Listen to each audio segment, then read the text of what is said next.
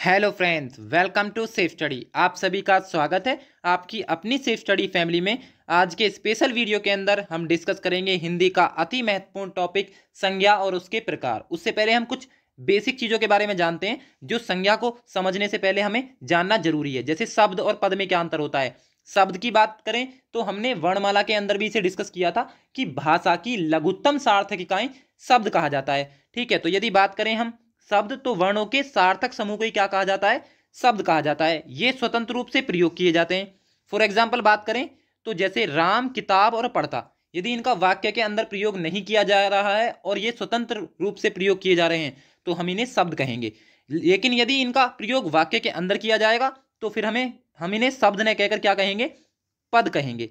ठीक है? जो कि यहाँ पर मेंशन है, जब शब्दों को वाक्यों के अंदर प्रयोग किया जाता है तो उसे हम पद या फिर शब्द रूप कहते हैं। ठीक है, जैसे कि यहाँ पे हमने एक एग्ज़ाम्पल मेंशन किया है। राम किताब पढ़ता है।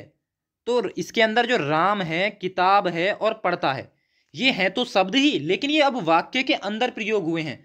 तो अब इसे पद कहेंगे या फिर शब्द रूप कहेंगे। शब्द रूप को हम एक तरीके से और समझ सकते हैं, जैसे वाक्य में प्रयुक्त होने की दृष्टि से एक ही शब्द के हमें अनेक शब्द रूप प्राप्त हो सकते हैं, जैसे लड़का, ठीक है? तो लड़के में यदि मैंने ए प्रत्यय लगा दिया तो लड़के बन जाएगा, ई प्रत्यय लगा दिया तो लड़की बन जाएगा ओ प्रत्यय लगा दिया तो लड़को बन जाएगा। मतलब कि एक ही शब्द के बहुत सारे शब्द रूप हो सकते हैं मतलब कि पद हो सकते हैं। जब हम उसे किसके अंदर प्रयोग करते हैं? वाक्य के अंदर प्रयोग करते हैं। तो आई होप आपको शब्द और पद में क्या अंतर होता है, ये पता चल गया होगा। अब हम देखते हैं आगे हमारे जो शब्द हैं, उसके भेद। वैसे तो मेनली हमारे चार भेद होते हैं।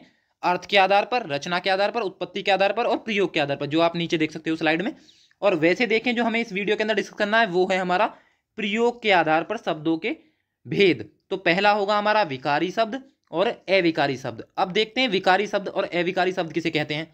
तो बात करें विकारी शब्द की तो वो शब्द जो लिंग, वचन, कारक और काल के प्रभाव से परिवर्तित हो जाते हैं, उन्हें हम विकारी शब्द कहते हैं। जैसे हमने यहाँ पे एक एग्ज़ाम्पल लिया है, लड़का।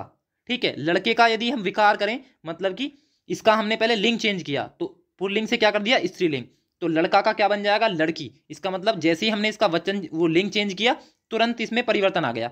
ठीक है, इसके शब्द में परिवर्तन आ गया। यदि हम इसका अब वचन चेंज करें तो लड़का एक वचन है, और बहुवचन बनाएँगे तो क्या बन जाएगा हमारा? लड़के। इसका मतलब हमने इसका वचन चेंज कर दिया, तुरंत शब्द में भी चेंज आ गया, विकार आ गया। तो इसे क्या कहेंगे हम? विकारी शब्द कहेंगे। तो विकारी शब्द मेनली हमारे चार होते हैं। कौन कौन से? इंग्लिश के अंदर हम इन्हें पार्ट ऑफ़ स्पीच भी कहते हैं। ठीक है तो पार्ट ऑफ़ स्पीच के चार जो हमारे पार्ट हैं, वो आएँगे विकारी शब्द के अंदर। जैसे कि हमारा पहला आ जाएगा, संज्ञा मतलब कि नाउन सर्वनाम मतलब कि प्रोनाउन विशेषण मतलब कि एडजेक्टिव क्रिया मतलब कि वर्व ये चार होंगे विकारी शब्द। अब बात करें हम अविकारी शब्द तो अविकारी शब्द जस्ट इसका रिवर्स हो जाएगा। जो शब्द लिंग, वचन, कारक और काल के प्रभाव से परिवर्तित नहीं होते हैं, उन्हें अविकारी शब्द कहते हैं। जैसे हमने यहाँ पे एग्ज़ाम्पल लिया है, अभी किंतु इसलिए।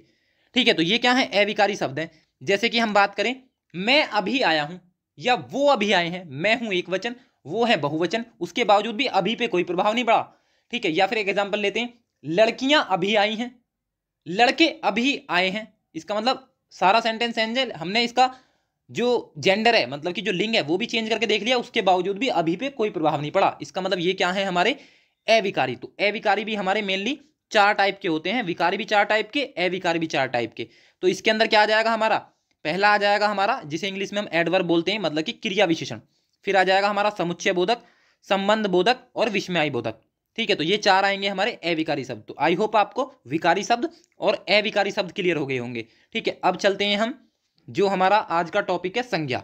ठीक है तो संज्ञा को समझते हैं, जैसे कि हम इंग्लिश के अंदर देखते हैं, noun is the name of person, place और थिंग। ठीक है मतलब कि यदि संज्ञा की बात करें तो किसी प्राणी, व्यक्ति, वस्तु अथवा भाव के नाम के बोध को कराने वाले शब्दों की क्या कहेंगे हम? संज्ञा कहेंगे। जैसे एक एग्ज़ाम्पल लेते हैं, व्यक्तिवाचक संज्ञा। तो व्यक्तिवाचक क्या है? जब हमारा व्यक्तिवाचक संज्ञा में किसी विशेष व्यक्ति या स्थान का बोध कराया जाएगा, जैसे गंगा, व्यक्तियों के नाम जैसे तुलसीदास, महेश, राम, ये सब क्या है? व्यक्ति। नदियों के नाम गंगा, गंडक, यमुना, झीलों के नाम जैसे बेकाल झील, ये क्या है सब? ये सब व्यक्तिवाचक है। उसके बाद हमारा प्राणी या फिर भाव। भाव के अंदर क्या क्या आ जाएगा हमारा? भाव के अंदर जैसे कि हमारे, जैसे कि गुण मतलब कि चतुराई, सौंदर्य या फिर हमारा भाव, जैसे मित्रता, शत्रुता, जैसे अवस्था, जवानी, बचपन, बुढ़ापा, ये सब क्या है? ये सब भाव के अंदर हम डिस्कस करेंगे, ठीक है? तो अब हम देखते हैं भेद। तो संज्ञा के वैसे मेनली जो भेद होते हैं, वो दो भेद होते हैं। कौन कौन से? पहला होगा हमारा अर्थ के आधार पर, दूसरा होगा हमारा व्युत्पत्ति के आधार पर। तो अर्थ के आधार पर हमारे मुख्यतः और मूलतः तो तीन भेद होते हैं। एक तो व्यक्तिवाचक, जातिवाचक और भाववाचक। लेकिन कुल पूछ लिया जाए आपसे तो कुल होते हैं पाँच, समूहवाचक और द्रववाचक भी आ जाएगा उसके अंदर। और व्युत्पत्ति के आधार पर कभी कभी किसी किसी बुक के अंदर मेंशन होगा, जैसे रूढ़ शब्द, यौगिक शब्द और योग रूढ़ शब्द। ठीक है तो ये भी ठीक है। या फिर हमारा मेंशन होगा व्यक्तिवाचक संज्ञा, गणनीय संज्ञा, अगणनीय संज्ञा। ठीक है, और यदि बात करें हमारा व्यक्तिवाचक संज्ञा तो हम देख चुके गणनीय संज्ञा का मतलब है इसके अंदर हमारे जो एक वचन बहुवचन के दोनों रूप हैं, जातिवाचक के, वो आ जाएँगे। इसके अलावा जो व्यक्तिवाचक द्रववाचक, समूहवाचक और भाववाचक है, ये आएँगे अगणनीय के अंदर। ठीक है? तो यहाँ पे जो ये मेंशन हुआ है, इसके अलावा आपको याद रखना है हमारा उत्पत्ति के आधार पर संज्ञा के तीन भेद होते हैं। एक होता है हमारा रूढ़ शब्द, जैसे हाथ, घर, पैर, मुँह, जिनका वर्ण विच्छेद ना हो। ठीक है? यौगिक के अंदर जैसे पुस्तकालय, हिमालय, पाठशाला, पुस्तक प्लस आलय मतलब कि दो के कॉम्बिनेशन से बना है। ठीक है? तो ये क्या है? यौगिक। योग रूढ़ की बात करें मतलब कि एक शब्द यूज़ करने पर किसी तीसरे का अर्थ दे, जैसे पंकज। तो दोनों खंड कर लो इसके, पंक प्लस जय। पंक का मतलब क्या होता है? कीचड़। जय का मतलब क्या होता है हमारा? जन्म हुआ। इसका मतलब पंकज का अर्थ क्या हुआ? जिसका कीचड़ में जन्म हुआ मतलब कि अर्थार्थ कमल। ठीक है तो ये क्या हो जाएगा? ये हो जाएगा हमारा योग रूढ़। तो तीन टाइप के भेद होते हैं हमारे व्युत्पत्ति के आधार पर। गणनीय, अगणनीय, अलग से याद रखना। संज्ञा कभी कभी पूछ लिया जाता है संज्ञा के भेद में कि प्राणीवाचक है प्राणीवाचक क्या है? तो ये भी सिंपल है, इसको अलग से यहाँ पे मेंशन करना ज़रूरी नहीं है। जैसे प्राणीवाचक का मतलब क्या? सिंपल है। लड़का, घोड़ा, पक्षी आदि क्या है? इनके अंदर जीवन है। तो ये प्राणीवाचक है। जैसे पेड़, ईंट, दीवार, इनके अंदर जीवन नहीं है। इसका मतलब ये अप्राणीवाचक है। तो सिंपल तरीके से याद रखना है ये तो। ठीक है। लेकिन मेनली जो हम इसके अंदर डिस्कस करेंगे, वो करेंगे अर्थ के आधार पर। तो यदि बात करें कामता प्रसाद गुरु की तो उनके आधार पर हमारे संज्ञा के मेनली तीन भेद होते हैं। एक तो व्यक्तिवाचक, दूसरा जातिवाचक, तीसरा भाववाचक। और मुख्यतः मूलतः ये तीन ही भेद होते हैं। कुल पूछा जाए, तब हमें मेंशन करना है कि पाँच भेद होते हैं। ठीक है। तो अब हम देखते हैं इन्हीं पाँच भेदों को। ठीक है तो क्या होगा हमारा? संज्ञा के भेद। तो कौन कौन से होंगे? पहला बात करें तो व्यक्तिवाचक। वैसे तो हम डिटेल में देखेंगे नेक्स्ट लेक्चर में इसे, लेकिन अभी जस्ट ओवरव्यू देख लेते हैं। जैसे व्यक्तिवाचक का मतलब क्या है?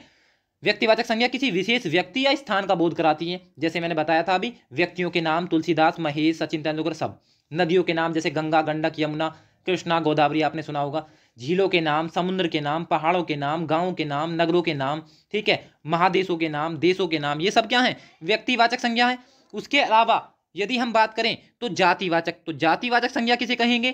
ठीक है, जिससे पूरी जाति का बोध हो। जैसे तुलसीदास तो व्यक्तिवाचक है, लेकिन वो है क्या? कवि। ये जातिवाचक है, कवि तो कोई भी हो सकता है। जैसे सीता तो है व्यक्तिवाचक, लेकिन स्त्री कौन है? क्योंकि वो भी स्त्री है। स्त्री तो कोई भी हो सकती है तो ये है जातिवाचक। कोलकाता एक नगर है, मुंबई एक नगर है, लेकिन नगर खुद में क्या है? एक जातिवाचक है। हिमालय हमें पता है कि भारत के अंदर है, लेकिन पहाड़ तो कोई भी हो सकता है, हिमालय भी हो सकता है, ठीक है, एंडीज भी हो सकता है, रोकीज भी हो सकता है, ठीक है। ये क्या है हमारे जातिवाचक है पूरी जाति का बोध करा रहे हैं। उसके बाद आता है हमारा भाववाचक तो भाववाचक संज्ञा का मतलब क्या हुआ? भाववाचक संज्ञा व्यक्ति या पदार्थ के धर्म या फिर गुण का बोध कराती है, जैसे अच्छाई, चौड़ाई, मिठाई या लंबाई, ये सब क्या है? वीरता, ये है भाववाचक जैसे कोई गुण बताती हैं, जैसे चतुराई और सौंदर्य क्या है? हमारे गुण हैं। जैसे भाव की बात करें तो मित्रता और शत्रुता क्या है? हमारे भाव हैं। अवस्था की बात करें तो जवानी, बचपन, बुढ़ापा क्या है? अवस्थाएँ, ये सभी भाववाचक हैं। ठीक है, उसके बाद ये हो गए हमारे मुख्यतः और मूलतः तीन भेद। अब देखते हैं हमारे जो दो भेद और हैं, कुल भेद के अंदर आते हैं, वो है द्रववाचक। तो द्रववाचक संज्ञा किसे कहेंगे? वो हम देखेंगे डिटेल में नेक्स्ट वीडियो में, लेकिन जस्ट ओवर ओवरव्यू देख लेते हैं जैसे। द्रववाचक संज्ञा में किसी धातु या द्रव का बोध होता है, जैसे घी, चांदी, पानी, पीतल, सोना, ये सब क्या है? द्रव है। मतलब कि इसके पूर्ण रूप और अंश के नाम में कोई अंतर नहीं होता। जैसे एक बूंद घी बोलेंगे, वो भी घी है। एक किलो घी बोलेंगे, वो भी घी है।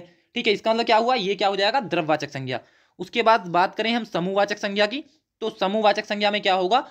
इसमें पूरे समूह का बोध होता है। मतलब कि एक व्यक्ति या वस्तु का बोध नहीं होकर अनेक या फिर पूरे समूह का बोध होता है। जैसे हमारा गिरोह, झुंड, दल, सभा, सेना, सब क्या है? समूहवाचक संज्ञा। ठीक है तो ये पाँचों ही हम डिटेल में डिस्कस करेंगे नेक्स्ट वीडियो के अंदर। आई होप आपको ये वीडियो पसंद आया होगा। थैंक यू फॉर वॉचिंग मिलते हैं नेक्स्ट वीडियो में।